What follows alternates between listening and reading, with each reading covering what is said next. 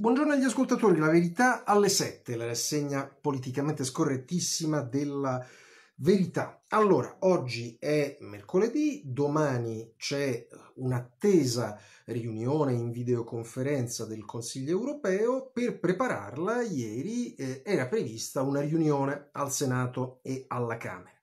Queste riunioni possono avere il carattere di un dibattito al termine del quale ci sono delle votazioni, come accade di solito, votazioni di risoluzioni vincolanti eh, per il governo che a quel punto va eh, effettivamente in Europa, ma con un mandato molto preciso, ma non è stato ieri questo il caso. Oppure ci si può limitare, e questa è stata la scelta di Giuseppe Conte, ma parliamoci chiaro, avallata anche dal Quirinale, inutile girarci intorno, quando un governo fa così vuol dire che sopra è stato aperto un ombrello, un ombrello che però si assume una responsabilità eh, molto grave, è, stata scelta la strada di una mera informativa, cioè Conte è andato, ha parlato, è seguito un dibattito nel quale gli interventi più duri contro Giuseppe Conte sono stati quelli al Senato di Alberto Bagnai, alla Camera di Riccardo Molinari e Giorgia Meloni, ma al termine di questo scambio Conte ha preso, sappiamo se avesse la sua borsa o no, eh, sicuramente la pochette e se n'è andato libero di trattare in Europa senza alcun vincolo. E eh, all'interno del discorso di Conte c'è stato, scegliete voi, se una gaff, una beffa, una burla, un travestimento, quando Conte a proposito del MES ha detto ma non possiamo dire no non possiamo mettere il veto per il bene della Spagna, per il bene degli altri paesi che potrebbero fare ricorso a questo strumento e che peraltro eh, non l'hanno richiesto, ma questo è un altro discorso ancora. Insomma, capite bene che siamo passati da un granitico no al MES a un intermedio MES vedremo e ora a un MES sì eh, per fare il piacere a qualcun altro. Oggi naturalmente sui giornali, con l'eccezione della verità che vi racconta questo, e fa un fuoco di sbarramento significativo contro l'ipotesi del MES, è tutto un affaccendarsi di commessi viaggiatori per dire che il MES è una cosa bellissima, è, un, è un'opportunità da non perdere. Mm, Carlo Cottarelli, sentito dal giornale, ehm, i professori Alesina e Giavazzi, eh, diciamo più anti-italiani che mai, vedremo mm, la chiusura del loro editoriale sul Corriere della Sera, ma poi anche i commenti politici, Massimo Franco sul Corriere, Marcello Sorgi sulla stampa, un fiammeggiante Claudio Cerasa sul foglio, tutti a dire ma che meraviglia questo MES. C'è però un piccolo dettaglio che a guastargli la festa è un corrispondente da Bruxelles, che peraltro non è sospettabile di essere un eurocritico, è un euro lirico a 24 carati, Marco Bresolini, il corrispondente della stampa, tante volte diciamo accompagnatore musicale delle conferenze, un tempo di Juncker, oggi della von der Leyen, eccetera, e, e Bresolin però smonta tutto questo discorso e dice sapete cosa c'è?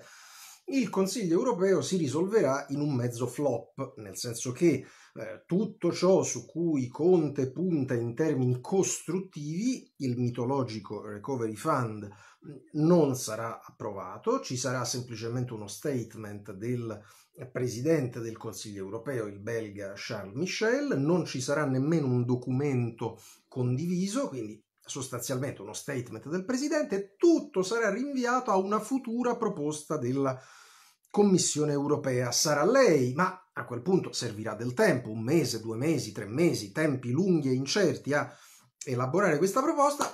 Nel frattempo ti devi prendere il MES. Eh, allora capite bene che i contorni della veramente dell'ingabbiamento dell'Italia cominciano a essere veramente molto chiari per chiunque abbia un minimo di onestà intellettuale. Sarà questo il tema dominante della rassegna stampa. Ci sono anche però delle questioni eh, sanitarie. Eh, intanto un'inchiesta sulla verità a firma di eh, Giacomo Amadori e Camilla Conti sul pasticcio delle mascherine nel Lazio, con una strana operazione che vedremo del presidente della regione Lazio Zingaretti che ha messo in piedi una polizza, una polizza farlocca, scrive però nel titolo di prima la verità. E la riapertura eh, si favoleggia intorno a questo 4 maggio, oggi diciamo con sprezzo del pericolo e in qualche caso del ridicolo, il Corriere della Sera ci dice qual è il frutto di questa tempesta di cervelli del comitato Colau. Quattro paginette, nove punti e un PowerPoint che sarebbero in via di consegna al Presidente del Consiglio Conte. Ancora echi della questione nomine e, e il fatto che alimenta eh, una vera e propria spy story perché il fatto quotidiano forse per distrarre, ecco, forse questa è la spiegazione più, questa è la spiegazione più semplice, come si fa ai bambini. Guarda là, ecco, eh, per nascondere il fatto che un membro del consiglio di amministrazione del fatto è diventata presidente dell'ENI, lancia ora eh, un bengala in altra direzione per dire ah, ma qui c'è un problema, Davide Casaleggio si è incontrato mm, con l'amministratore delegato uscente e rientrante dell'ENI Descalzi, arcinemico del fatto, manovra, manovra di distrazione, manovra diversiva. Sulla stampa scopriamo che mm, Di Maio non dimentica i compagni di scuola e uno è finito a Leonardo, niente meno, mentre su Atlantico, quotidiano online, scoprirete che nel CDA di Eni è finita anche una signora, eh, una analista internazionale, come si dice, che però era conosciuta come consulente e voce della Mogherini e quindi capite bene che Teheran avrà un'altra, un'altra amica, diciamo così, nel CDA dell'ENI. Va bene, questo il sommario. Andiamo a vedere le aperture dei quotidiani in edicola con la raccomandazione, quando questa rassegna sarà finita, di passare in edicola a prendere la verità o se non avete eh, intenzione di uscire oggi di andare su laverità.info e far tesoro delle opportunità di abbonamento. La verità, Giuseppe non si smentisce mai, parla tanto per non dire nulla. Conte, parole, parole, parole. Nessuna indicazione chiara su come e quando si ripartirà. I soldi servono trilioni di euro, ma mentre gli altri paesi li mettono, lui aspetta l'UE e qui non si vede nulla. Melina sul MES, non lo uso, forse. L'informativa alle Camere conferma, il Premier è una sciagura per l'Italia, così la verità. Corriere della Sera, come sempre accade nelle giornate calde, diciamo, sceglie invece la strada unemotionally factual, come se fosse un osservatore britannico in gita in Italia, mascherine fino al vaccino. Eh, apertura così vaga e fattuale del eh, Corriere della Sera. Eh, il fatto quotidiano eh, questa volta cambia bersaglio, per una volta non c'è la Lombardia nel mirino, ma le realtà economiche e finanziarie che hanno investito nelle RSA. CDB, che vuol dire Carlo De Benedetti, Angelucci, che vuol dire Angelucci, chi c'è dietro le RSA e questi personaggi sono effigiati sulla prima del fatto. Eh, il giornale titola Ripartenza fai da te, eh, però attenzione, eh, qui dobbiamo risegnalare un po' lo zig zag. Domenica il giornale aveva preoccupato i suoi lettori, diciamo più convinti e convintamente di centrodestra, con l'intervistone a Conte. Poi mm, lunedì e martedì eh, il giornale aveva diciamo ricorretto la linea dicendo no assolutamente nessun mm, sostegno a Conte oggi il direttore Sallusti insiste su Conte Godot le scelte che non arrivano eh, però trovate molto valorizzate in prima con fotonotizia l'intervista a Carlo Cottarelli che dice il MES non è una trappola guarda che bello questo MES. Eh, il tempo eh, ironizza amaramente su altre sciocchezze, diciamolo chiaramente, dette dagli scienziati, in questo caso dall'Istituto Superiore di Sanità, i bimbi salti e corse in casa. L'Istituto Superiore di Sanità ha scoperto, dopo averli carcerati, che ai bimbi serve l'attività fisica. Così ora chiedono ai genitori di farli ballare e saltare in lungo, massimo un'ora davanti al PC. Si sono scordati, annota opportunamente il sommario del quotidiano diretto da Bechis che la scuola fa ore di lezioni sullo schermo e che nessuno vive in castelli e effettivamente c'è questo, c'è questo dettaglio. La stampa che diciamo, prosegue suo, la sua avanzata per raggiungere i quotidiani ancora più filogovernativi, Fatto e Corriere. Conte riapre tutta Italia il 4 maggio, eh, magari fosse così, ma no, non ne saremmo così certi. Infine Repubblica invece più preoccupata con la questione del, eh, delle previsioni sul PIL, meno 15% il profondo rosso del nostro virus. Allora, questo è il quadro delle aperture. Abbiamo fatto un po' un'infarinatura tra sommarie e aperture. andiamo a vedere come la mette Maurizio Belpietro che ci aiuta a inquadrare la giornata e parte dalle chiacchiere di ieri di Conte alle 15 il Senato e alle 17.30 alla Camera. Il Premier parla tanto per non dire mai niente e evoca Belpietro, l'antico successo di Mina e Alberto Lupo, parole, parole, parole. E andiamo a vedere come conclude il direttore della Verità. Sì, Conte non cambia mai, proprio mai. In Senato, dopo aver parlato di trilioni, ha evocato la Luna e i grilli, parlando del MES e dello European Recovery Fund. Sul primo il Presidente del Consiglio ha dei dubbi, ma è sbagliato alimentare un dibattito che rischia di dividere l'Italia su diverse tifoserie. Virgolette, e commenta Belpietro, dunque che si fa? Si dice di sì o di no? Sul secondo invece il Premier si dichiara favorevole, ma non si aspetta che alla prossima riunione Europa si trovi la soluzione. Dunque nel frattempo che succede? Conte metterà il veto come ha fatto trapelare o piegherà il capo? Neppure su questo il giurista di Voltura Rappula pronuncia una parola definitiva. Già, dopo aver evidenziato la necessità di una risposta il più velocemente possibile, altro avverbio, il Premier ha spiegato di voler attendere i regolamenti attuativi del Pandemic Crisis Support, la nuova linea di credito del MES, per vedere se sarà davvero senza condizionalità. Insomma, conclude ironicamente Belpietro, Conte è Conte, un uomo di parole, il suo problema è che di parole ne conosce e ne usa tante, al punto che tra lui e gli italiani ci sono soltanto parole, proprio come nella canzone di Mina così il direttore Belpietro e l'offerta informativa della mm, verità è articolata. Mm, vi facciamo subito qualche segnalazione, poi passiamo al MES.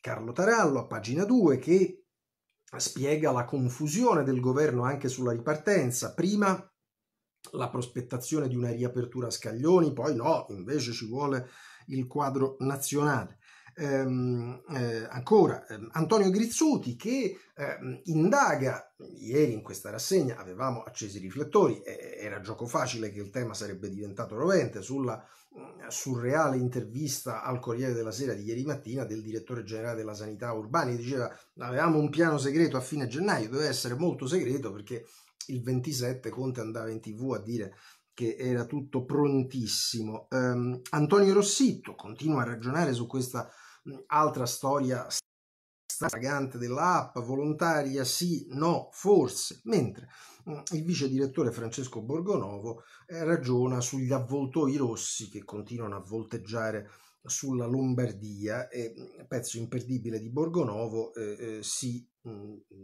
segnala in questa galleria dell'orrore lo scrittore Christian Raimo, uno che a scadenze trimestrali deve fare una figura di quelle proprio impresentabili. Ieri pensando di essere brillante, eh, chiosa criticamente Borgonovo, mh, mm, ha scritto su Twitter non Milano da bere, ma Milano da bare, ecco, pensando di essere spiritoso. Con, con i cadaveri ancora caldi questi signori si permettono, si permettono questo tipo di battute. Spostiamoci sul versante del MES, che è il cuore di questa mh, mm, rassegna di stamattina. Allora, sulla verità si segnalano almeno tre cose la cronaca parlamentare di ieri con eh, questa incredibile sortita di Conte che vi dicevamo nel sommario, lo facciamo per la Spagna, e eh, la parte addirittura provocatoria alla Camera quando ha detto ma noi abbiamo una carta riservata per la trattativa, ma come vai in Parlamento e, e non informi il Parlamento di quella che è la tua carta la tua carta negoziale. Se non vuoi farla in aula, potevi chiedere di essere audito in commissione in forma riservata. Ma insomma, che, che senso ha eh, appellarsi alle opposizioni e, e, e poi nascondere nascondere quello che dici, dici di avere in serbo e nel pezzo, come vi dicevo, si um, sintetizzano gli interventi più duri contro Conte, più efficaci, Alberto Bagnai al Senato, alla Camera eh, Molinari e la Meloni. Antonio Liturri eh, torna sulle pressioni che anche dall'estero arrivano. Ieri avevamo commentato l'intervista a Franz Timmermans, vicepresidente della Commissione, chiodato, eh, chiosato, non chiodato, no, per carità, il lapsus è in questo caso feroce, chiosato, chiosato, eh, ma duramente criticato da Liturri eh, eh, in una lucidissima analisi. Così come è molto lucida l'intervista che rilascia a Luca Telese un economista che si chiama Massimo D'Antoni, che è un uomo di sinistra, firmatario di un appello di uomini di sinistra alcuni dei quali non lontani dal mm, Partito Democratico che mettono in guardia rispetto, rispetto al MES e è davvero assolutamente si raccomanda questa intervista. Proviamo a individuarne mm, almeno un passaggio che a me pare molto mm, significativo. Eh, la differenza, mm, scrive mm, il professor D'Antoni, è che i regolamenti dell'Unione impongono a chi ottenga un credito dal MES, anche un credito leggero come questo, la, sor- la sorveglianza rafforzata e, domanda Telese che lo intervista, traduciamolo. E D'Antoni traduce, sei soggetto a controlli, vigilanza e raccomandazioni analoghi a quelli previsti per un paese in procedura di infrazione. Sei un governo che approva, che ne so, il reddito di cittadinanza. Io ti raccomando di non farlo domanda telese e se non accetti si può arrivare a raccomandare l'adozione di un percorso di aggiustamento macroeconomico con vincoli ben precisi. Devi negoziare la tua politica economica con Bruxelles come abbiamo visto in Grecia. E è in fondo, se vedete, il tema che ha posto ieri nel suo intervento Bagnai al Senato, quando dice guardate che i paesi del nord sistemeranno i loro bilanci con l'aiuto eh, del denaro della BCE questa opzione rischia di essere preclusa o molto ridotta all'Italia, a cui invece si dirà prendi il MES, ti indebiti, ma poi dopo a quel punto arriva o di nome o di fatto la Troica o comunque arriva qualcuno che ti chiede conto, diciamo, della gestione del denaro che hai eh, ricevuto. Oh, naturalmente però invece ci sono eh, gli entusiasti del MES e noi vi abbiamo raccontato sulla verità le voci contrarie e qualunque giornale sceglierete di acquistare troverete invece eh, come dire, eh, musica da camera che accompagnerà eh, con un delicato sottofondo eh, di, di, archi, eccetera, la, la, corsa verso il MES. Carlo Cottarelli, sentito dal giornale, la, la prima risposta è, è fantastica. L'impianto del MES funziona così: un paese membro fa domanda di finanziamenti associati a un determinato programma e inizia una discussione che si conclude con determinate condizioni. Solo alla fine di questo processo, se le condizioni vanno bene, il paese firma. Qui le condizioni dovrebbero essere solo relative all'uso dei fondi per la sanità, quindi niente riduzione del deficit pubblico. A quel punto, nell'esecuzione del programma, non è più possibile cambiare l'oggetto della condizionalità, ma non è così, professore. Il trattato MES non cambia, il regolamento, eh, infatti, Cottarelli, che evidentemente sa che non può esagerare, dice c'è chi fa riferimento a un articolo del regolamento per sostenere che la condizionalità sul deficit può essere introdotta anche successivamente. A me non sembra, ma è una questione che può essere facilmente accertata prima di richiedere il prestito e a me non sembra è davvero l'hashtag del mattino. Chi vorrà eh, salutare il professor Cottarelli, a me non sembra, è, è, è veramente è veramente fantastico. Ehm, vediamo invece cosa sembra ad Alesina e Giavazzi che col tono insomma dei bocconiani che non hanno tempo da perdere dicono che per noi sarebbe un errore voler fare da soli, insomma poche discussioni, qui il MES bisogna prenderlo e, e la chiusura diciamo austriacante perché il tono è questo è che alcuni rappresentanti dei paesi del nord Europa siano talvolta gretti non c'è dubbio, ma noi dobbiamo essere più umili e realistici nel riconoscere che chi non si fida dei rappresentanti del nostro Stato qualche motivo in passato l'ha avuto. Italiani fate schifo, lo, lo, dice, lo dicono con la loro autorevolezza Giavazzi e Alesina, ma non sono solo Cottarelli per un verso, Giavazzi e Alesina dall'altro mobilitati, sì, automobilitano anche i commentatori politici. Ecco Massimo Franco sul Corriere, una scommessa obbligata per evitare l'isolamento. Vedi, proprio non ci si può sottrarre al MES se no si resta isolati e più o meno in fotocopia, appena più diciamo sorvegliato nel linguaggio, Marcello Sorgi che parla di uno slalom sul MES per evitare l'isolamento. Chi invece proprio sorvegliato non è eh, né nel linguaggio né nella sostanza è il mm, direttore del foglio Claudio Cerasa che fiammeggiante dice è l'ora di un whatever it takes italiano in un formidabile articolo pubblicato ieri sul nostro giornale Lorenzo Binismaghi con parole semplici ha messo letteralmente in mutande gli azionisti di un partito molto trasversale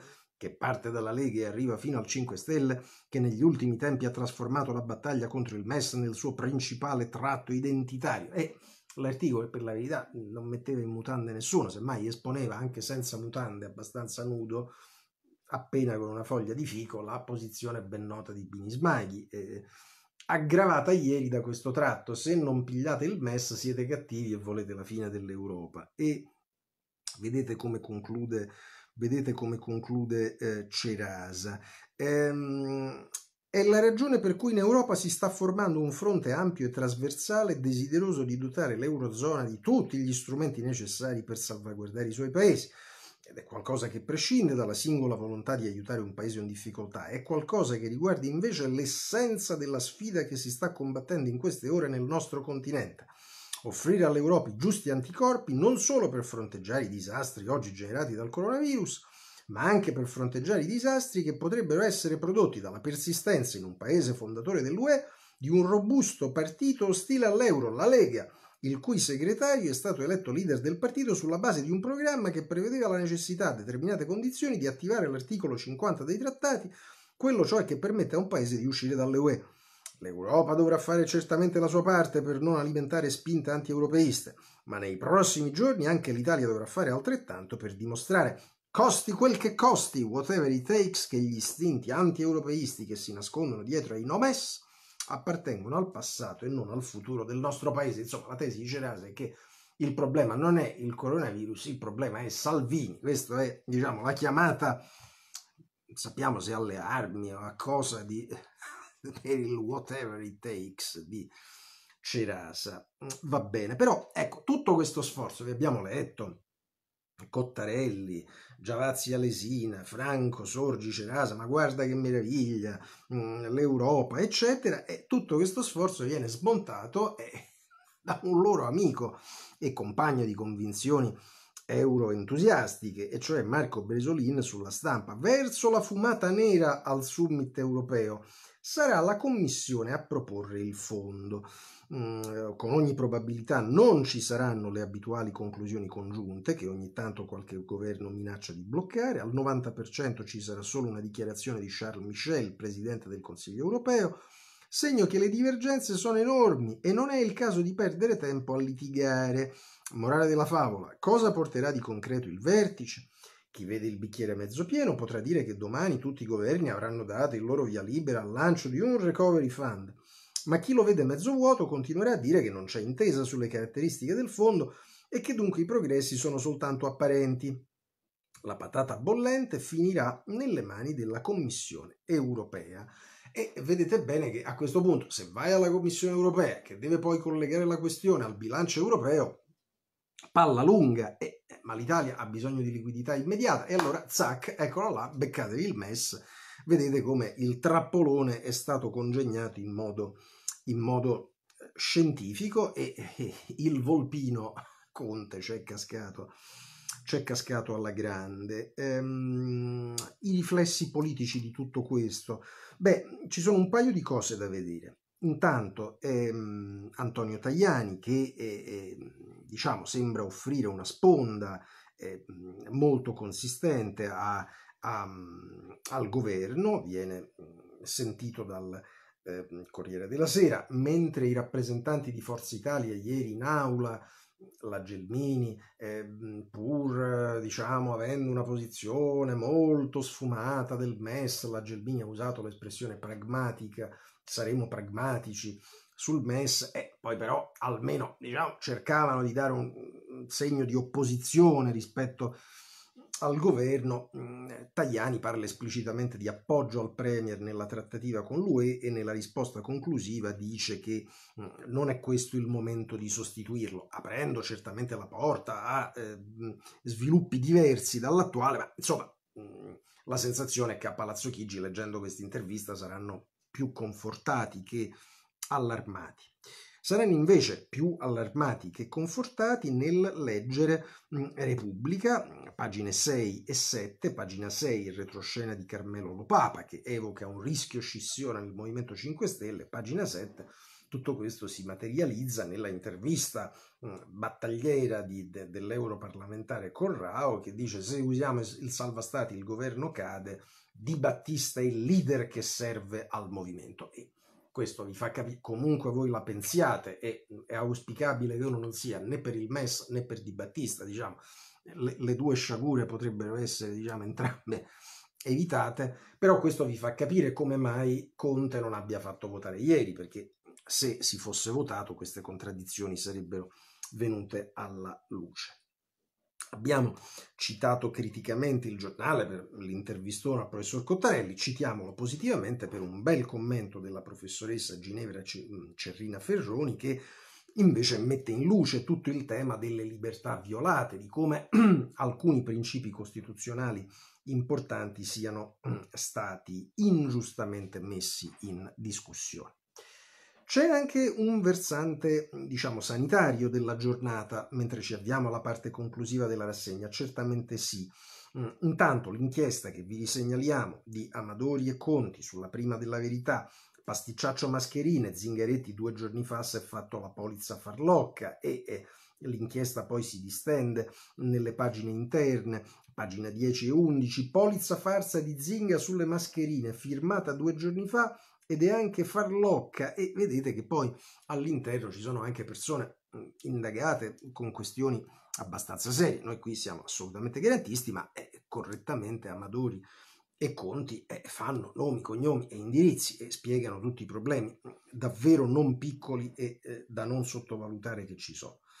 La ripartenza, e non dispiacerà alla tempesta di cervelli radunata da Vittorio Colao, ma fa abbastanza sorridere mm, nel pezzo di Lorenzo Salvia sul Corriere della Sera, ecco l'agenda graduale di Colao. E io ci beh, qui eh, vediamo questi cervelli che hanno partorito e spiega il Corriere. La task force di esperti guidata da Vittorio Colao ha consegnato ieri sera al Presidente del Consiglio Giuseppe Conti il documento con le linee guida per la cosiddetta fase 2 quattro pagine, nove punti tematici e un PowerPoint che serviranno da base per le decisioni che il governo dovrà prendere. Va bene, il gran lavoro della, della task force. Ehm, a proposito di task force, ehm, la questione degli esperti, dei comitati, il sole 24 ore, tragicomicamente sabato ne ha enumerati 15 con 450 persone a vario titolo mobilitate, ma va tutto bene fra loro? No, pare di no. Eh, il fatto quotidiano, è che certo non è sospettabile di essere antigovernativo, è diciamo, una specie di guardia svizzera a sostegno di Conte, nel pezzo di Alessandro Mantovani Ilaria Proietti, che è molto ben scritto e divertente, racconta delle liti e degli insulti tra gli esperti nel comitato scientifico, con Ippolito, quello dello Spallanzani, che dice agli altri siete servi sciocchi. Immaginate che gli altri non l'avranno presa benissimo, poi ah tu sei stato in televisione anziché stare qui mm, sotto accusa rezza mm, del CNR, immaginatevi le gelosie, le di questi professoroni con le penne del pavone vanitosissimi e incazzatissimi fra loro, racconta le liti, l'ultima anche tra Lopalco e no, chiedo scusa, tra Burioni e un altro si chiama Tarro, sul Corriere della Sera la racconta Fabrizio Roncone, Miss Italia, sì, ma devi stare a bocca chiusa. Insomma, mm, vedete che questa storia degli esperti, diciamo, mm, non finisce benissimo. Non è finita benissimo neanche la questione delle nomine, su cui abbiamo tre cose da segnalare. Intanto ve lo dicevamo, il Bengala sparato dal fatto, questa è la mia interpretazione, forse maliziosa, non, non tenetene conto per carità, ma per distrarre dal fatto che una componente della società, del CDA, della società editrice del fatto, è finita all'ENI, tema obiettivamente imbarazzante per Travaglio e i suoi amici, ma come contro il regime, contro il regime, e poi diciamo le stanze dell'ENI. E oggi, diciamo, per distrarre, Carlo Tecce fa un paginone rubricato Potere in cui si parla degli incontri riservati tra Descalzi e Davide Casaleggio e con ciò Travaglio che è un genio, va detto, prende due piccioni con una fava. Primo, eh, dice, ma oh, vedete, io attacco anche Casaleggio, quindi non ditemi che sono l'Ausorgan grillino. E secondo, continua a tenere sotto pressione quel Descalzi contro cui ha fatto la campagna, ma con cui la sua, diciamo, amica del fatto ha finito per accettare una specie di ticket. Tutto questo ve lo racconta, cioè non ve lo racconta, un pezzo lo racconta il fatto, il resto diciamo ve lo raccontiamo noi. Um, vi racconta Atlantico Quotidiano in un retroscena importante di Dorian Gray che vi racconta chi è un'altra nuova eh, componente del CDA dell'ENI, Natalie Tocci, signora che è stata consulente della Mogherini e diciamo, che si è sempre segnalata per posizioni filo Teheran, ci mancava solo questo all'ENI. Ma un'altra cosa diverte, divertente, si fa poco da ridere, la racconta Ilario Lombardo sulla stampa. Leonardo, tra i nuovi membri del CDA c'è l'ex compagno di scuola di Di Maio, il fedelissimo Carmine America, che se l'era portato prima al Mise e poi alla Farnesia, deve essere proprio indispensabile. Cioè, qui non si può fare un governo, una partecipata di non, non si può lavorare se non c'è, come si chiama, senza Carmine America non si può andare avanti, non, non si fa giorno e, e, e, allora sta mm, nei membri del CDA del FAT. È, è, è fantastico, dovevano aprire tutto come una scatoletta, eccoli qua. E, a, a lottizzare selvaggiamente. Va bene, siamo alle segnalazioni conclusive, ce ne sono almeno tre importanti.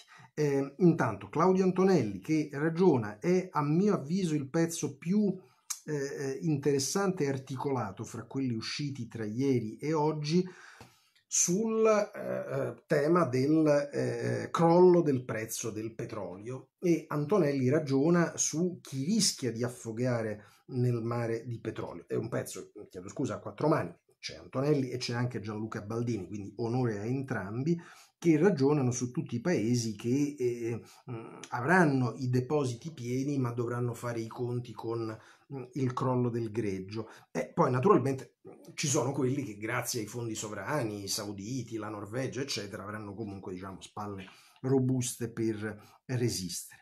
Mentre, eh, sempre restando sulla verità, ed è un'altra segnalazione interessante, dov'è? Eccolo qua, diciamo dell'Iran e, e dell'ENI, però l'Iran va direttamente sul Palazzo Chigi, Gabriele Carrer parla di una telefonata che sarà un caso geopolitico e ancora una volta non farà piacere a Washington di Rouhani a Palazzo Chigi per chiedere una mano contro Trump, pezzo di Carrer che assolutamente si segnala. Ultima segnalazione, invece, noi, come dire, continuiamo, beh, ho una certa età, dovrei non stupirmi più, ma continuo a, a stupirmi perché um, Antonio Polito, che è un giornalista molto serio e molto rispettabile, fa un'intervistona a Emma Bonino sul Corriere della Sera Mm, per eh, difendere le donne discriminate, mm, la meritocrazia che umilia la parte femminile della società, eh, così le donne non andranno mai al potere e la Bonino, insomma, bonineggia su tutto questo tema,